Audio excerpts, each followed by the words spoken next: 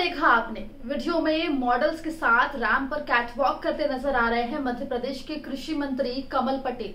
ये वीडियो इंदौर का है, जहाँ Madhya Pradesh women's press club के फ़ैशन शो में कृषि मंत्री कमल पटेल ने शिरकत की थी। और ना सिर्फ़ शिरकत की, बल्कि रैम पर कैटवॉक भी किया। इस फ़ैशन शो और मंत्री जी के कैटवॉक का ये वीडियो सोशल मीडिया पर खूब वायरल है, जिसके बाद एक तरफ़ कृषि मंत्री कमल पटेल कांग्रेस के निशाने पर है तो वहीं दूसरी तरफ़ ट्विटर पर ट्रोल भी हो रहे हैं।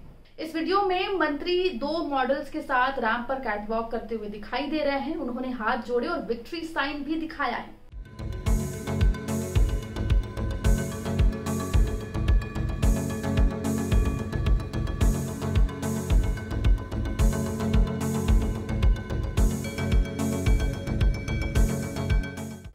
कृषि मंत्री कमल पटेल का ये वीडियो को ट्वीट करते हुए कांग्रेस नेता जीतू पटवारी ने लिखा कि धन्य है मध्य प्रदेश के किसान जिन्हें प्रतिभाशाली मंत्री के रूप में कमल पटेल नसीब हुए। किसान आत्महत्या कर रहे हैं, लेकिन कृषि मंत्री कैटवॉक कर रहे हैं। खाद, कोयला, बिजली नहीं है, किसानों को मुआवजा नहीं मिल रहा है, लेकिन वसूली पूरी हो रही है।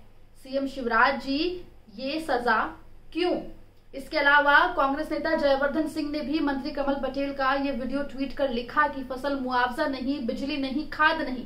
कोई बात नहीं, मध्य प्रदेश के कृषि मंत्री का कैटवॉक तो है, देखिए और खुश रहिए।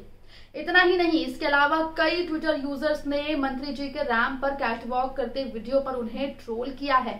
आपको बता दें कि मध्य प्रदेश में फ़िलहाल तीन विधानसभा और एक लोकसभा सीट पर उपचुनाव है। वहीं मध्य प्रदेश के किसान बिजली और खाद के संकट से जूझ रहे हैं। ऐसे में मंत्री जी की कैटवॉक उन पर भारी पड़ती नज़र आ रही है। मध्य प्रदेश से जुड़ी तमाम खबरों के लिए बने रही एमपी तक के साथ।